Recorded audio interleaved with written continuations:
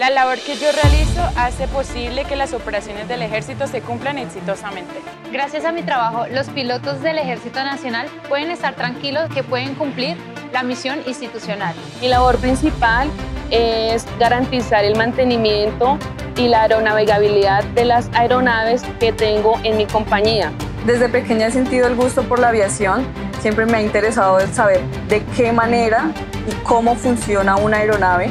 Es por esto que he elegido esta carrera, me he inclinado por, por la aviación. Este grupo de mujeres tiene una, una importancia grandísima dentro del Ejército Nacional porque ellas son las encargadas de, de cumplir las misiones o las tareas de mantenimiento de aviación en las diferentes aeronaves que tiene la aviación del ejército. Dentro de sus cargos ellas eh, tenemos especialistas de mantenimiento, técnicas de mantenimiento de aviación, tripulantes de vuelo. Nos apoyan en toda la consecución de las fases de mantenimiento programadas y no programadas que eh, nos ayudan a, concluir el programa anual de mantenimiento de las aeronaves de, a la fija de la aviación del ejército.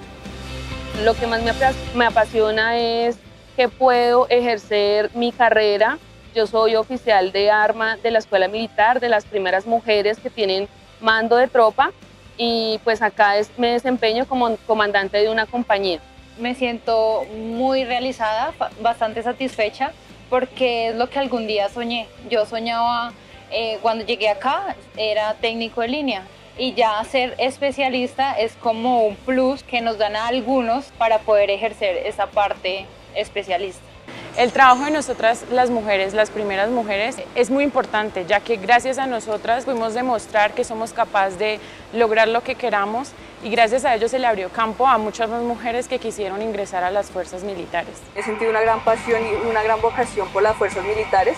Es por esto que eh, decidí integrar eh, estas, dos, estas dos pasiones que he tenido, la ingeniería aeronáutica con la vocación militar el día de hoy hago parte del Ejército Nacional como subteniente, me desempeño en la oficina de como oficial control calidad, en la cual pues nos encargamos de, de velar por la seguridad de nuestras aeronaves.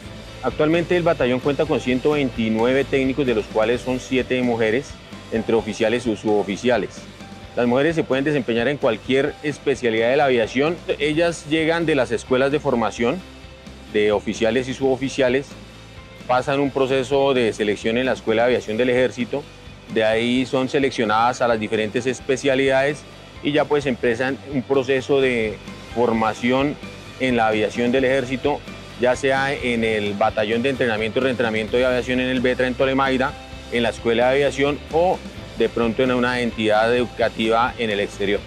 El diferencial es la dedicación, con que cada una realiza su trabajo de manera profesional. Me siento muy orgullosa de pertenecer a este batallón y dar un granito de arena para que las aeronaves del Ejército Nacional salgan a vuelo y estén aeronavegables. Gracias a mi trabajo, gracias a mi labor, contribuyo a que el Ejército de Colombia cumpla muchas más misiones, logremos llegar más allá de lo que podemos en tierra y asimismo apoyar a cada uno de los colombianos y asimismo a cada uno de los soldados que prestan el servicio a nuestro ejército. Para mí es de gran orgullo ser parte de este grupo de mujeres, el cual pues aportamos todo nuestro conocimiento hacia la aviación y de igual manera servimos de inspiración para que las demás mujeres cumplan sus sueños, que esto es un gran reto pero que se puede cumplir. A todas las mujeres que me están viendo yo les diría que no hay límites, no hay límites para los sueños, todos los sueños se cumplen. Una mujer que quiera entrar al ejército solamente tiene que proponérselo. Todos los sueños se cumplen, todo lo que cada persona se proponga, si se pone una meta lo puede lograr sin ningún problema. No hay que detenerse por un no puedo, por un qué dirán, siempre, siempre tener la meta fija. Ejército Nacional, patria, honor, lealtad.